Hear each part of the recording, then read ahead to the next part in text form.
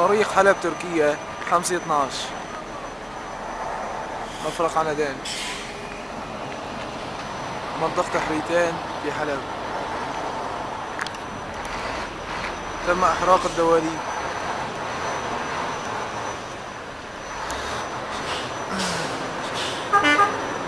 تم إغلاق الشارع ردا على حملة مداهمات غاشمة